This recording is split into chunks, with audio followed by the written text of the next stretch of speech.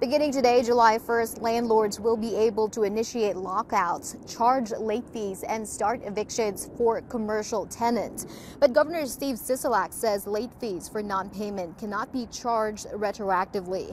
Meanwhile, residential evictions, along with foreclosures due to non-payment of rent and mortgages, will resume in full on September 1st. However, some residential tenants can be evicted before that. Those tenants include those with no lease or at will, unlawful business, nuisance tenants in violation of controlled substance laws, and in violation of lease conditions other than non payment of rent. The governor is strongly urging landlords and tenants to work together. And 13 Action News also spoke with a property manager who says before your due date comes, talk to your landlord. The options to certain tenants, for instance, would be again, communication, talk to the property manager and the landlord. Once you've had that conversation, you can work out a payment plan for after you get back to work. And one key piece of advice here is also to get that agreement in writing.